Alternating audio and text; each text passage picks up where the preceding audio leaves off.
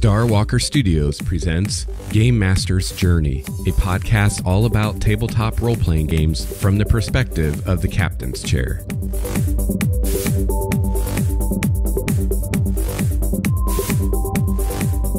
This episode is brought to you by Texas Beard Company. Use the coupon code GameMaster for a 15% discount at texasbeardcompany.com. Mark Garringer returns to the show today with some tips if you're interested in writing for a company like Paizo. He also shares what it's like to MC the Pathfinder Special with 1,200 players. So join me on the journey. Together, we can become game masters, truly worthy of the title.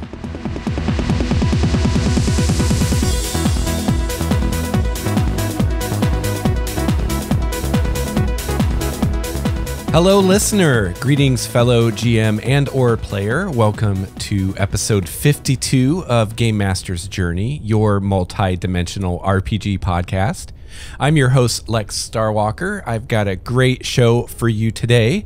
Mark Garringer is coming back with some more discussion about his experiences in the role-playing game hobby, uh, specifically his experiences emceeing the Pathfinder special, where he got to oversee a massive Pathfinder game of around 1,200 people.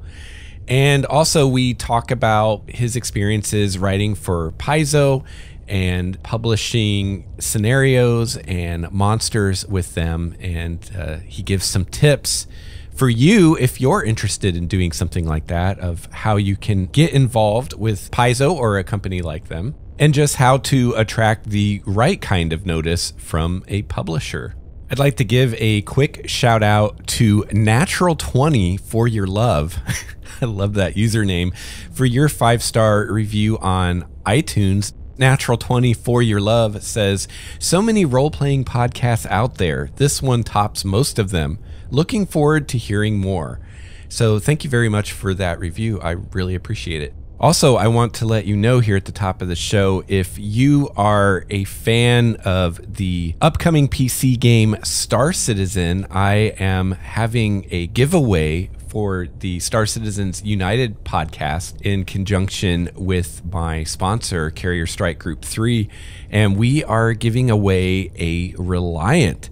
So if you are a Star Citizen player or you want to be a Star Citizen player, go check out the Star Citizens United podcast at starwalkerstudios.com and enter the contest. That will be running for a few weeks yet. Also, if you're a patron of the show, make sure and check out your patron feed at patreon.com slash starwalkerstudios. I have recently uploaded some bonus content that, that you can download there. And if you're not a patron, uh, go check it out. You can just head to the show notes at starwalkerstudios.com. I have a Patreon button at the top of every episode, and you can go check out my Patreon page and yeah, it helps support the show, helps support the studio, all the shows that we make. And uh, I try very hard to keep the patrons up to date on what's coming in the future of, of the podcast. So, you know, if you're the kind of person that you like, uh, getting some behind the scenes knowledge and, and advance warning of what's going to be coming down the pipeline. Uh, that'd be very cool for you. And I also put up bonus content for the patrons. And something I'm working on right now is uh, some uh, outtakes from various interviews and just bloopers from the various shows and going to compile those into uh, a nice recording for the patrons. And I'm also doing a monthly podcast just for the patrons that uh, I don't know. I've done one so far, and right now it's looking like it's kind of uh, behind the scenes of the studio, let you know what's going on with me, let you know what's going on with the various shows, and just a chance for me to kind of speak directly to uh, some of my strongest uh, supporters and and most loyal fans of the various shows. So definitely check out the Patreon page. So next week, episode 53 will be the season 3 finale episode of Game Master's Journey. And next week, I am going to be going through some feedback that I've received from you, revisit a couple topics from earlier in the season, and uh, yeah, well, I have I have lots of feedback, lots of great thoughts and ideas from listeners of the show, and uh, I don't know if I'll be able to get through it all in one episode, but I'm going to try. And then uh, episode 54 after that will be the first episode of season four. And just a couple things I, I want to cover real quick before we get Mark back on the com. In episode 50, Mark and I mentioned the initiative system in Star Wars Edge of the Empire. Uh, actually, all three of the, the Star Wars games use this, the same initiative system, whether it's Edge of the Empire, Age of Rebellion, or A Force and Destiny. And uh, I realized later. that we talked about that, but I didn't tell you how the initiative system works. So for those of you that that haven't played the new Star Wars games, the way their initiative system works is pretty cool. Everyone rolls initiative, PCs and NPCs, and it works similar to games like D&D where the person that, that scores best on that roll goes first and, and on down.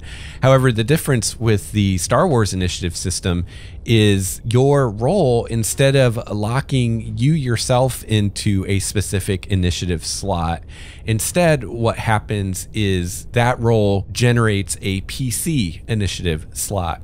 So everybody rolls initiative, PCs, NPCs, and you end up with your initiative order which just designates whether it's a PC or an NPC's turn. Your initiative order might be something like NPC slot, PC slot, PC slot, NPC slot, NPC slot, PC slot, or whatever. And what's cool about it is then the players get to decide as far as their PC slots who goes in which slot. So you may have rolled the best initiative roll, but that doesn't mean that your character has to go first. That just means that a PC gets to go first. And it's up to you guys which one of you goes first. And you're also not locked into that order among the PCs from round to round. So you could have a situation where you decide in round one that you are going to take the last PC initiative slot, which is the last initiative order and then in the following round, you're going to take the first PC initiative slot, which is the first initiative order, and you effectively get to take your two turns back to back. Um, so there's a lot that can be done tactically with that as a group for the players, you know, deciding which of those initiative slots each player should take. And uh, it's also nice if you have a situation where, based on your tactics, you need a certain PC to go first, and that PC maybe doesn't have the best initiative roll. Well, it doesn't matter. Um, and then also, you can change that from round to round. So you can adapt to the battle as it unfolds. And it's also cool for the GM because the GM gets to do the same thing with the NPC slots. So I just thought I would explain how that works real quick because we we were discussing it a little bit and how uh, that won't work in fifth edition D and D at least because of the way the spell durations work. Uh, usually, a a spell that lasts for like say a round will specify it lasts until the beginning or the end of your next turn, and obviously, if you're changing the turn order of the PCs then you could extend that duration by a fraction of a round, which could have tactical significance depending on what's going on. So, you know, that I guess that's an example of, you know, you can take an awesome system from one game, but it may not work super well in another game just because of how the various games are are designed. So, you know, you could try to use the Star Wars system in D&D 5th edition, but then you'd have to decide how you're going to deal with the the spell duration thing. So I don't think it really works for D&D 5th edition, but it works really great in Star Wars and I think it would be very easy to use that kind of initiative system in like Numenera, which already has a pretty loosey-goosey initiative system anyway. And uh, if you're a long-time listener, all the way back from the GM Intrusions days, and then you may remember that uh, with with Numenera, there's a, a, few different ways you can do initiative, and I was usually a fan of the turn or side base initiative. I can't remember exactly what it's called, but basically where you just roll, and as long as a PC beats all the NPC rolls, then all the PCs get to go before all the NPCs. And, uh, you know, I discussed on that show some of the positives and negatives of that system. Basically, the main positive is it it's really fast, right? It doesn't take long to resolve initiative, but it is very unbalanced and very swingy because you have either all the PCs going first or all the NPCs going first. So after the first round, it doesn't really matter, but it can make a big difference in that first round. And you can have combats where if the PCs go first, the NPCs never get a chance to do anything. so I feel like the the Star Wars system is kind of a nice middle ground between your more granular kind of initiative like you would have in say D&D or Pathfinder and the just really loosey goosey initiative of, of Numenera. And I, I, feel like looking at those two extremes, like there are some definite downsides. You know, with the D and D Pathfinder, it, it's just initiative is a little more involved and takes a little more time at the table. And with something like Numenera, it's just a little too simplistic and, and too swingy and too easy to game. And, and I feel like you know, Star Wars system is, is, a nice middle ground where there's some really interesting tactical possibilities there for the PCs and NPCs, but it doesn't slow things down too much because you still just have the one initiative roll and then you're then you're done. So that's how that works. All right. Well, it looks like I've got the monolith in position now, so I am going to get Mark back on the com and talk some about role playing.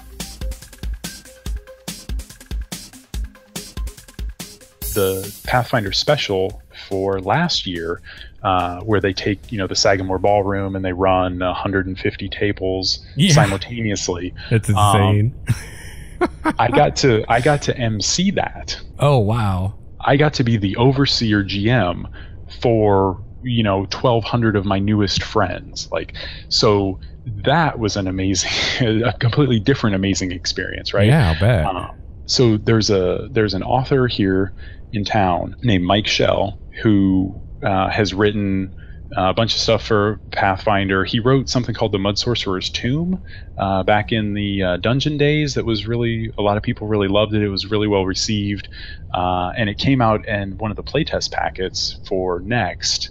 They had uh, touched it back up and, and, used it for that, but uh, he's been doing a bunch of stuff for Paizo, and I got hooked up with him because he was looking for people in town to be able to playtest some of the stuff that he was writing, and so you know, I've been in a lot of contact with him over the years and kind of answering rules questions or mechanically, like how would you approach this kind of thing. And he he had asked several times, and he had told me, you know, that he had asked like, I've tried to get you credit on some of these things that I know that you've helped me on, but they just the way that Paizo does it, like they don't do that per se. Okay. On somebody else's work, like they don't give partial credit or acknowledgement or you know something like that. And uh, dude, it's fine. You know, I mean, you're asking me a question, I'm answering your question. It's not it's not a big deal. So when he was writing the special for last year, he did it with the idea in mind from the start that I was going to run it oh, as cool. a way to say thank you. Like that was like his thank you to me was like, if you're willing to do this, you know, I'm gonna I'm gonna write it. And so he ended up picking the main orator for that is a guy who suspiciously looks a lot like me, right? So, so the costume was a lot easier to pull off because the guy already looks like me, right? nice. um, for your listeners, if you want to uh, look up uh, Venture Captain Crichton Shane, uh, he's an elf with uh, long blonde hair, you know, and uh, vacant look in his eyes, and uh, so that's that's who that's who I was. He looks suspiciously like me, uh, and so it just worked out great, right? So I showed up at the at the special, uh, dressed up as Crichton Shane to be the overseer, and and ran that, and just unbelievable energy, you know, doing that, walking around that room, doing all the box text reads basically, and then um, they had this idea during the during the special. Uh, campaign coins had made these um, Sihedron medallions that are just beautiful.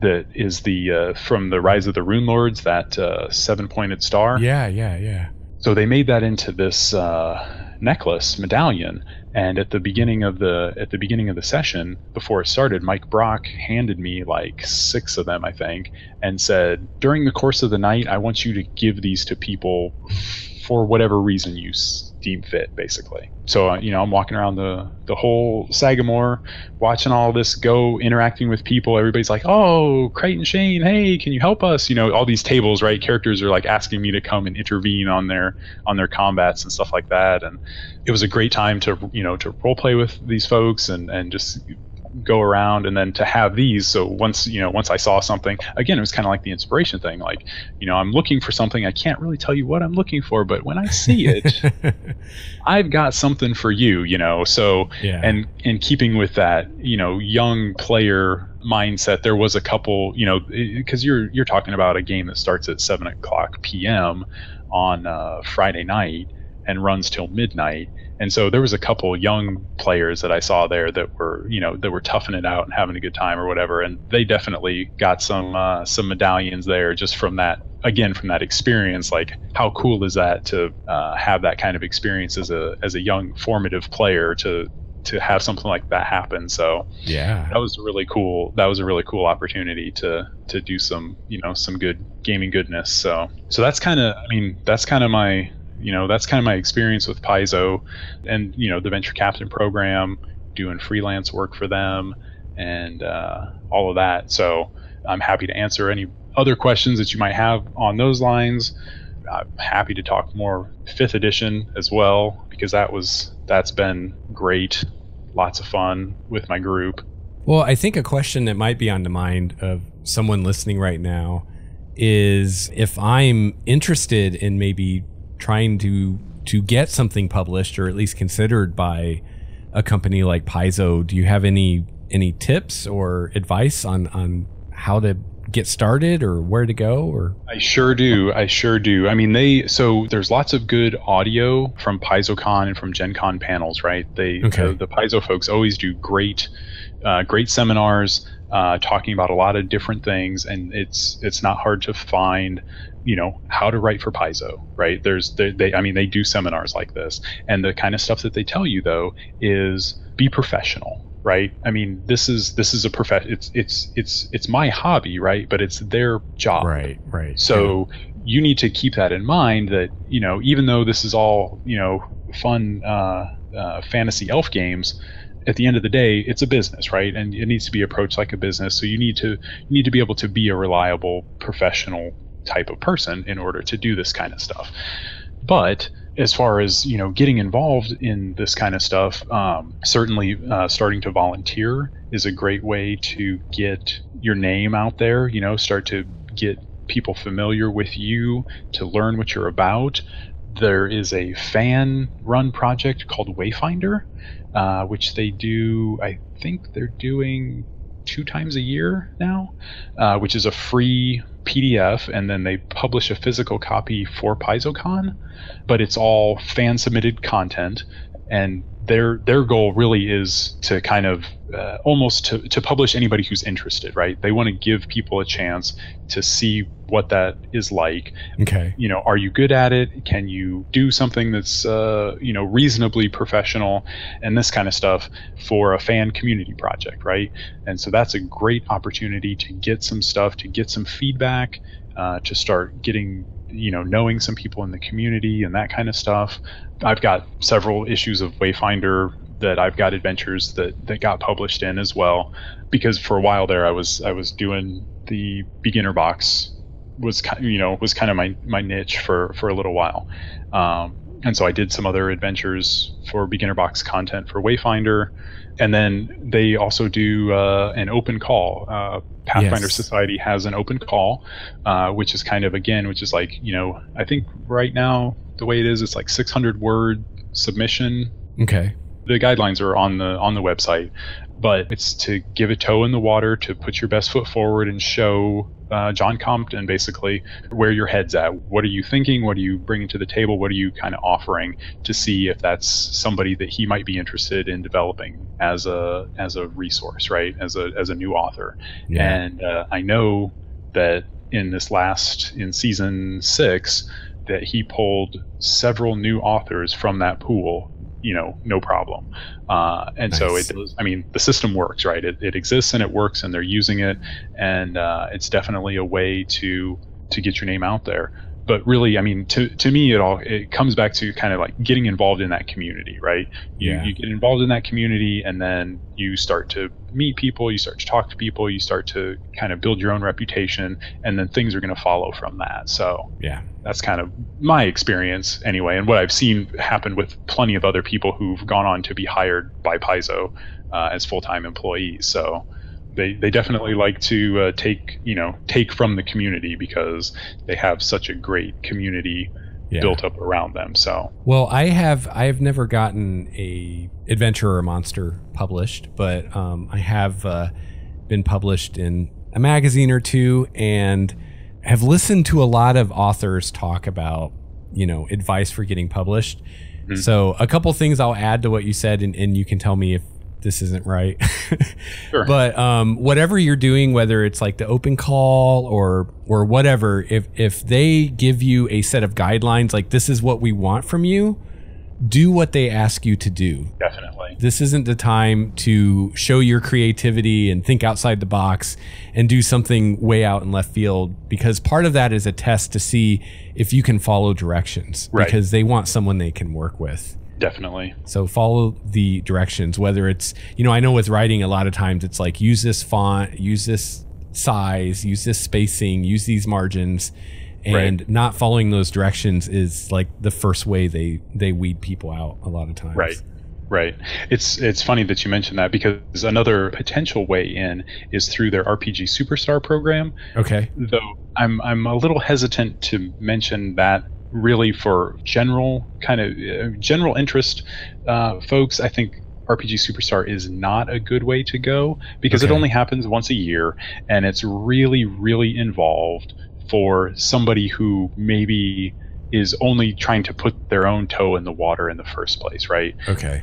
But it is a very interesting competition in and of itself, right? You create a wondrous item, or I think this year it's a wondrous item or a armor or a weapon and but again they have very very strict guidelines and word count and mm-hmm. formatting and stuff that goes yeah. into that yeah. and then when they open it up in the very first round even to get to the top 32 right they're uh, weeding through uh, hundreds and hundreds of submissions to get to 32.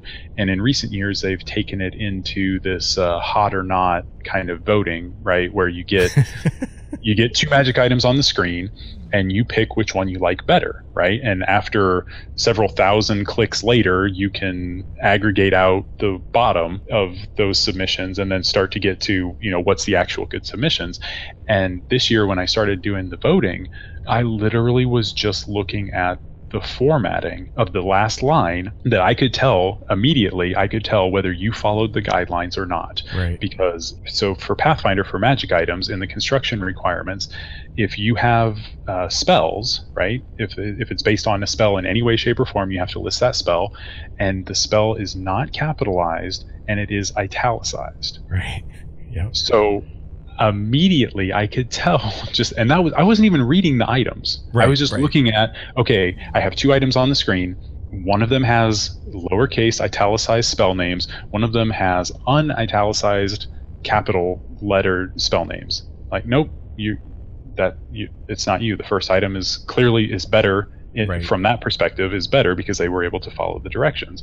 And it was I was I was really shocked the number of submissions that I went through that did not follow that kind of that simple basic formatting requirement that is you know it's the same as so it's 300 word limit if you submit 310 words you're automatically disqualified because right. the limit is 300 and right. if you're one word over you're out and like just it's that same kind of thing like if they right if the if the publisher is giving you specific guidelines on a on a thing you need to follow those exactly to the letter. Mhm. Uh, put on your lawful hat, right, and, and, and follow those exactly to the letter Exactly. Yeah. unless you have a dialogue with your developer and say, hey, here's the thing. I know you said it's supposed to be 300 words, but I need to make it 310 and here's why. Is that okay? Can we, you know, can we come to an agreement? Oh yeah, sure, no problem. Go ahead and do that. It's the same thing with uh, deadlines, right? Like you don't want to flake on a deadline, and if they know ahead of time that hey, I do need a couple of extra days, and here's why, cool, no problem. Thanks for giving me the heads up. Versus, you know, here's my turnover a week late. I'm sorry I didn't talk to you. Like, you know, guess which one of those freelancers is getting work in the future and which one isn't. Yeah. like, Yeah, totally. Yeah, I uh, I've been a, a big fan of the podcast writing excuses Okay. uh, since it since it very first started, which is uh, Brandon Sanderson, Howard Tayler, and I'm gonna blank on the other two authors that are part of that. Uh, Mary Kowal and oh, now I feel bad. Maybe I can splice it in later. right, and splice it in later. And the other one. Yeah, and and the other guy, and I actually read his book, and I can't one of his books. He's written more than one. It's Dan Wells, Lex. Dan Wells. Get it right. Gosh. Anyway, they've had editors on the show before who are the kind of the first line of defense with like submissions and and kind of do Okay. the first pass. right. And and they've talked about how you know exactly what you're saying. The first thing they look at is did you follow the submission guidelines? And if you didn't, you're getting thrown in the trash can. And people do crazy stuff like spray perfume on the paper or use some crazy like really artisan paper or or print it in some weird colored font or whatever. And yeah, none of that works. right. Just Right. do what they ask you to do. Right. If you want to get their attention, do what they asked you to do. Right. Like Yes. that's the, that's the way to get their attention.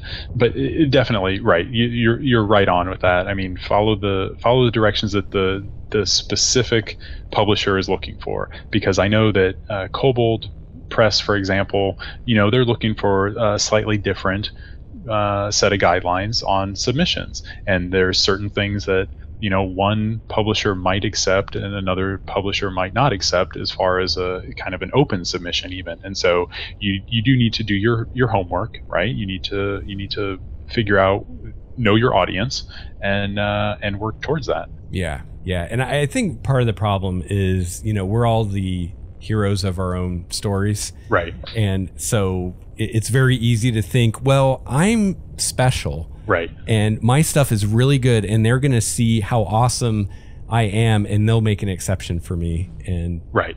Yeah, right. Probably of not. course. Of course they will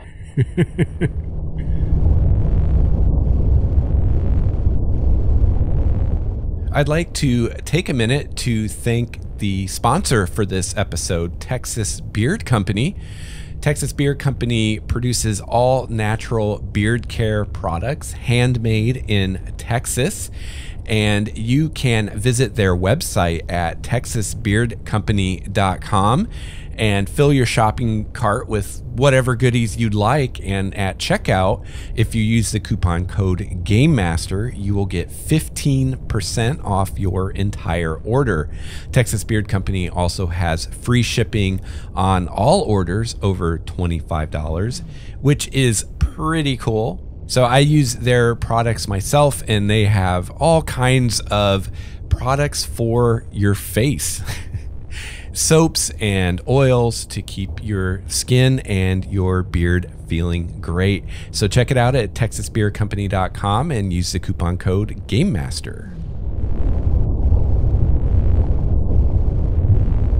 in the very very beginning when i started playing pathfinder and i learned about pathfinder society and i was just kind of gearing up for that right i i played like maybe two games of pathfinder society or something i barely knew anything about Golarion, hardly knew the rules even really at that point, to be honest.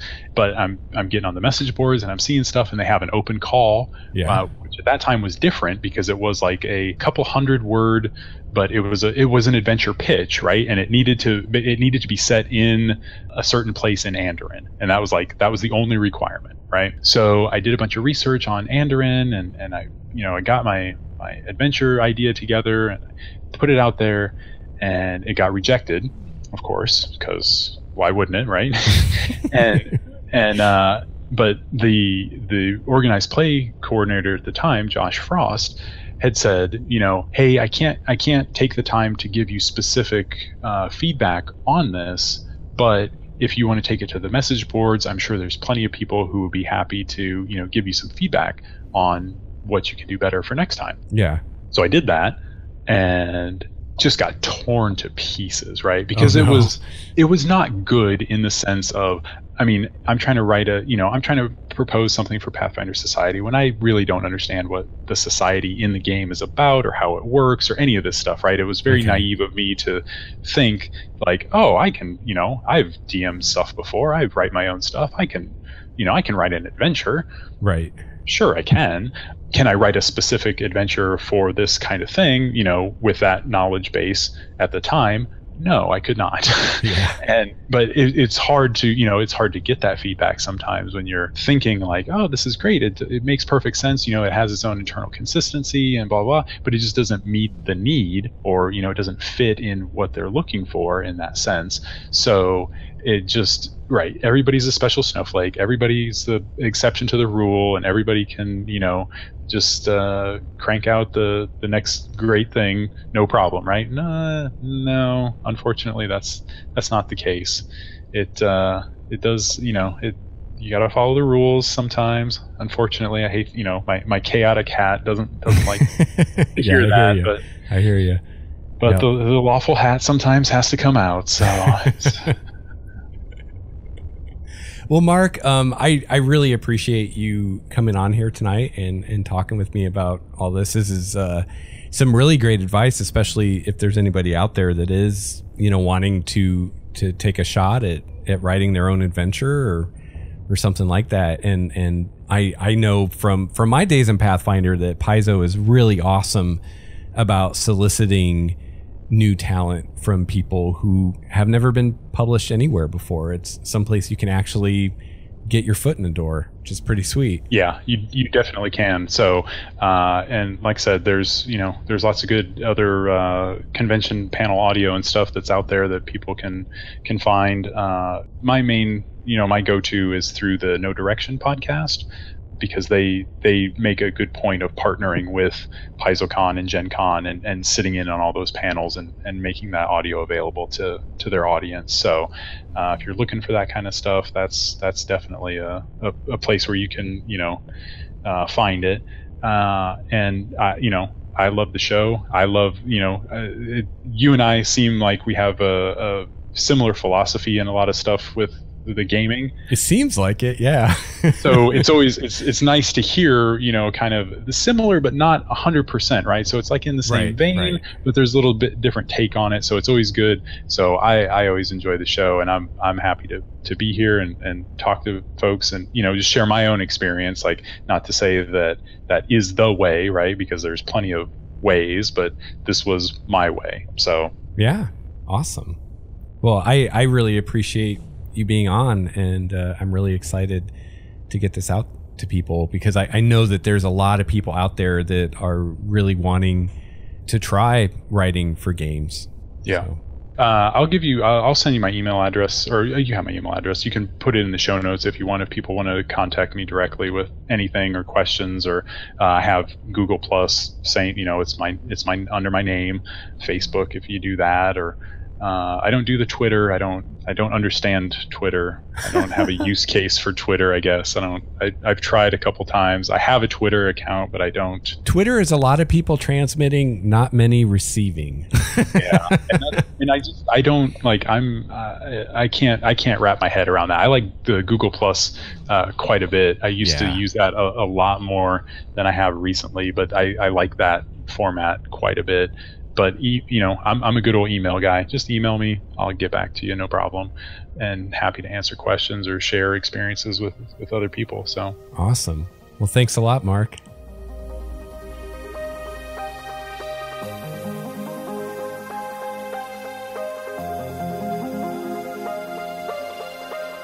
I want to thank Mark again for taking the time to talk with us today. I really appreciate it. Really fascinating interview and uh, great resource for any of you that are thinking that you might like to try to get something published uh, in your favorite RPG. Um, some great advice on uh, good ways to go about that. If you'd like to reach me, you can email me at gamemastersjourney at gmail.com. You can follow me on Google Plus, just search for Lex Starwalker, and you can follow me on Twitter at Lex Starwalker.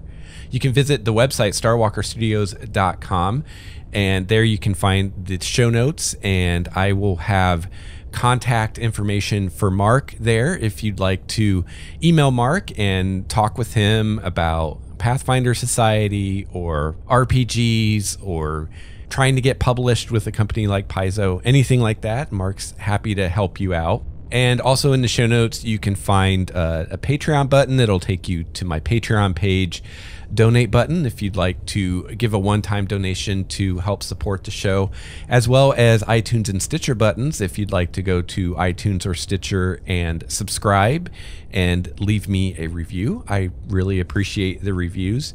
And then at the bottom of the show notes, you'll find a link to our Google Plus community page where you can connect with other gamers and listeners of the show as well as links to my YouTube and Twitch channels, a link to a free 30 day trial of Audible books, courtesy of Game Master's Journey, and my Amazon referral link. I hope that you have a chance to play your favorite RPG this week. I will be back next week with another episode of Game Master's Journey, the season three finale episode. So until then, game on. This has been a Starwalker Studios production, your source for quality gaming and hobby podcasts. This episode's music provided by Cloudwalker, Renfield, Transboy, and Ish. Please see the show notes for more details at starwalkerstudios.com slash Game Master's Journey.